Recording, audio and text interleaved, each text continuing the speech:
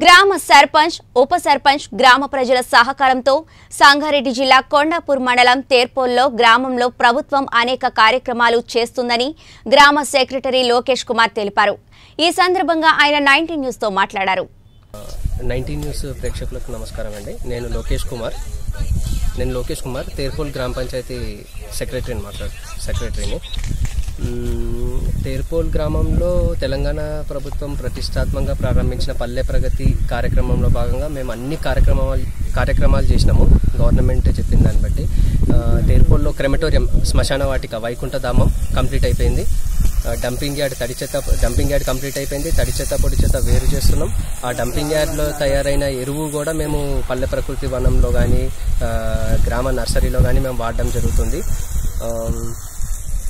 మేము ఇంకా గౌర పల్లె ప్రగతిలో భాగంగా తేర్పోల్ గ్రామం తేర్పోల్కి ఒక ఎదురుగూడెం హ్యాబిటేషన్ అని ఉన్నది. సో మేము రెండు పల్లె ప్రకృతి వనాలు రెండు ఉన్నాయి తేర్పోల్లో.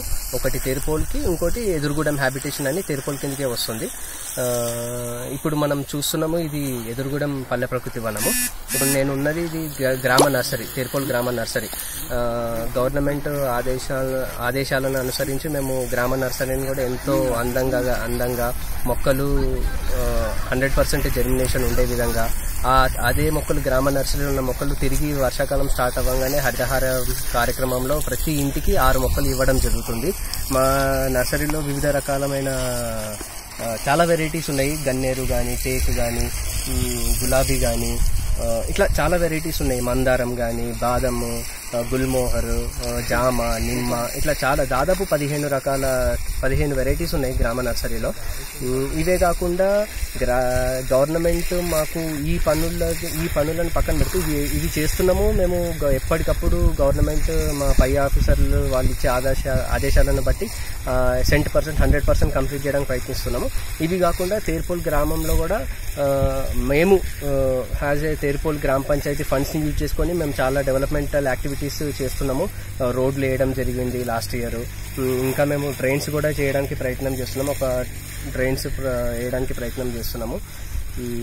అంతేకాకుండా మా గ్రామ పంచాయతీ సర్పంచ్ గారు కానీ వార్డు సభ్యులు కానీ వాళ్ళు ఎంతో సహకారంతో అందరూ కలిసికట్టుగా పనిచేయడం వల్లనే ఇప్పుడు గ్రామం ఇప్పుడు తీర్పుల గ్రామం కాదు ఇప్పుడు తెలంగాణలో ఏ గ్రామం చూసినా ఖచ్చితంగా మార్పు అయితే వస్తుంది. అది నేనేదో నేను పనిచేస్తున్నా అని నేను వరకు లేకపోతే మా కింద పనిచేసే సిబ్బంది కానీ అందరు కలిసికట్టుగా చేయడం వల్లనే గ్రామాలు ఇట్లా ఈరోజు అభివృద్ధి చెందుతున్నాయని నేను ఆశిస్తున్నాను. సో మీలాంటి ఇట్లా న్యూస్ ఛానల్స్ వాళ్ళు వచ్చి ఇంకా మీరు ఇట్లా వస్తే అప్పుడప్పుడు మాకు కూడా మోటివేషన్ లాగా వస్తుంది అనమాట అరే ఇంకా మంచి పనులు చేద్దాము.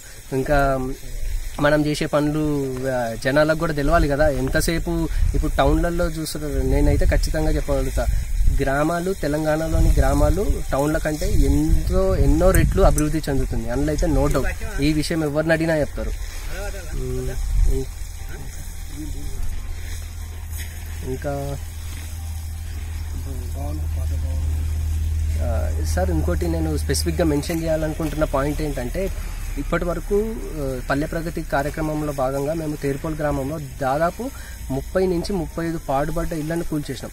అవి ఎప్పుడో నలభై యాభై వంద సంవత్సరాల నుంచి ఉన్న ఇల్లులని ఒక్క పల్లె ప్రగతి కార్యక్రమంలో ముప్పై రోజుల ప్రణాళిక అని first two thousand nineteen September sixth రోజు స్టార్ట్ అయింది ఆ ప్రోగ్రాము. ఆ కార్యక్రమంలో మేము దాదాపు ముప్పై పాడుపడ్డ ఇళ్ళని కూల్చేసినాం.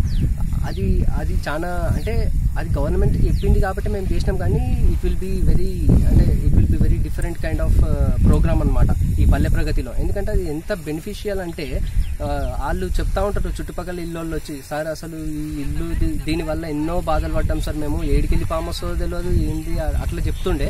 ఇప్పుడు అట్లాంటివి మేము చేయగలమంటే డెఫినెట్గా Palle Pragathi is a milestone in Telangana government flagship ప్రోగ్రామ్స్లో Palle Pragathi is the best అదైతే నేను చెప్పగలుగుతాను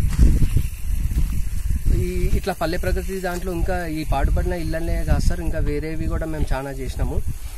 పాడుపడ్డ బావులని కూడా మేము అంటే పూర్తి చేసినాం సార్ పూర్తి చేసినాము. ఒక నాలుగైదు బావులను పూర్తి చేసినాము. అది కాక ఇంకా పెద్ద పెద్ద బావులు ఉన్నాయి తేరుపోల్లో. అవి కూడా మేము ఈజీఎస్లో మేము పట్టుబట్టి శాంక్షన్ చేయించుకున్నాము.